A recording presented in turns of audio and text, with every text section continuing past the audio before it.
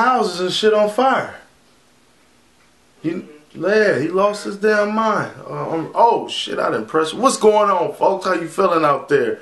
I want to talk about this crazy ass dude who was walking around in LA or running around, however he was getting around, just setting houses and shit on fire in California. He's been charged with over a hundred counts of arson.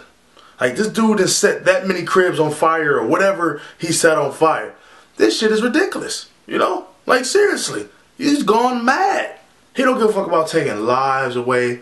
He don't care about the damage of the property. He don't care about how much money he costed people. This dude is basically got the mind frame of a murder. You know what I'm saying? Because if you're just setting shit on fire, you evidently don't give a damn if somebody's in there or not. You know, I'm like, you know what? We need to get rid of this dude ASAP. He get found guilty. Let's get rid of him. Not the old-fashioned way. I'm not talking about life. We know California got the death penalty. They will put your ass up under quick.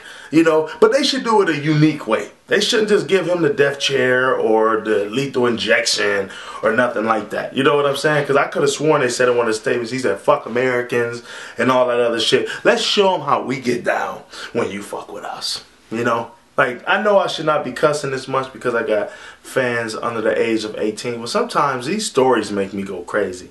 You know, and I can't control the things that come out my mouth. You know what I'm saying? And this is one of them stories because you got to think about the people who probably lost their lives. I didn't really get into detail to find out if anybody lost their lives, if any pets lost their lives, or anything like that. You know what I'm saying? I mean, it would piss me off if he burned down my house for the simple fact that, you know, I got a lot invested in this house. On top of that, I got, you know, childhood memories in this house. And you just don't burn shit down that don't belong to you. That's something you don't fucking do, okay? You know how we should get rid of this bastard? We should tie this bitch up upside down by his foot, you know? And first, before we do that, let's, um, cause he got long hair, you know, put his, put a bunch of fucking gasoline in his hair.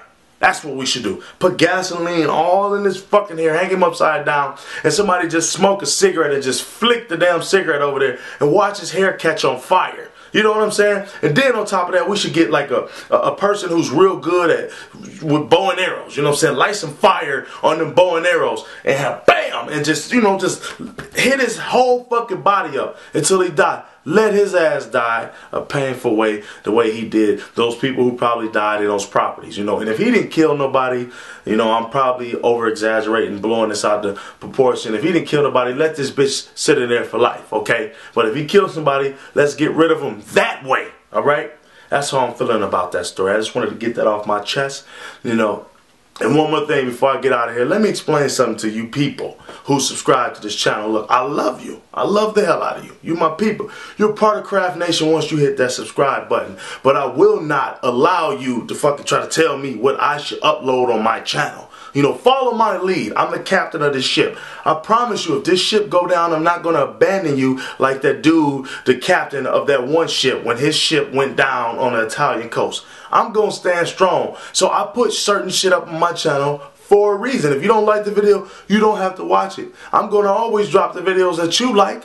But bear with me. Leaving that in the comment box do not make me say, hmm, they're right. This is their channel. I should do what they want me to do. You know, I gotta be, I gotta have a free mind. I gotta do what I want on this channel. It's just how I escape. You know what I'm saying? You know, if I can't have the free mind and I'm censored, you know, just like they trying to do the fucking internet, it's no fun for me at all. And when it's no fun for me, there's no me. So if you don't want no more me, you know, all you gotta do is just delete yourself because I will do you a big favor and block the hell out of you. But with that being said, if you didn't mean no harm and you was just talking out loud, I still love you, okay? You could have sent me a message, but you didn't have to leave it in the comments because you're going to cause a big argument on the thing. And I don't want people yelling and cursing at you when you really didn't mean no harm and you feel threatened and you don't want to be a part of the Craft Nation. You see what I'm saying? And I don't want to read a comment and accidentally block you because you said some shit that pissed me off. You know, but I'm getting better with not blocking people because I let a lot of people slide. But with that said, question of the day for the video. How do you think this dude should lose his life if he kills somebody? Should he just get the regular lethal injection or should he keep his life?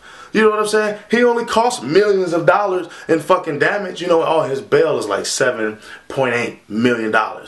So um, if somebody go get him, them filthy fucks need to get their bank account sucked zero for the simple fact, why would you waste money on a piece of shit like that? With that said, I'm gone.